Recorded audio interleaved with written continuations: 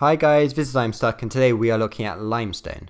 So limestone is mainly made of calcium carbonate and it has many uses. So powdered limestone can be heated, uh, heated with powdered clay to make cement. Cement powder mixed with water, sand and crushed rock creates a slow reaction.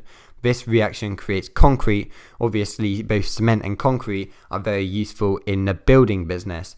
Um, uh, lime, uh, uh, limestone can also be used in things such as toothpaste and uh, for farming. So breaking, you also have to know that breaking down a chemical using heat is called thermal deposition. So now you got to know the limestone cycle. So limestone is at the top, obviously, and that can also be known as calcium carbonate. And if you heat it, which is obviously, as I've just said, thermal, decompos uh, thermal decomposition, um, it creates calcium oxide, also known as quicklime. Now, carbon dioxide is given off in this um, process. Then, if you add a little water to calcium oxide, also known as quicklime, it creates calcium hydroxide, also known as slaked lime. Now, more water um, creates uh, create lime water, which can be uh, used as a test for carbon dioxide, where lime water turns cloudy and that's um, and then if you add CO2 to lime water, it goes back to calcium carbonate and limestone.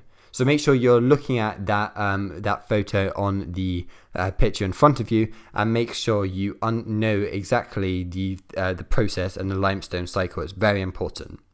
The other way we have to know is advantages and disadvantages of um, limestone. So limestone is quarried from the ground and it's blasted from a quarry by explosives. Uh, this is then taken away by lorries to be processed.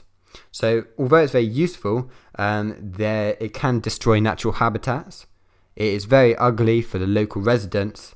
Um, it can ruin crops, obviously with all the dust and everything, and it's very noisy.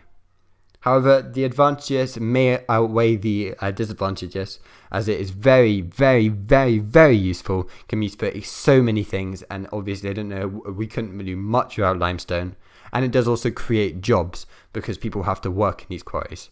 So thank you for watching. You can make up your own mind if if, if limestone is useful or not useful, um, no, not uh, or is it an advantage or disadvantage to have all these limestone quarries?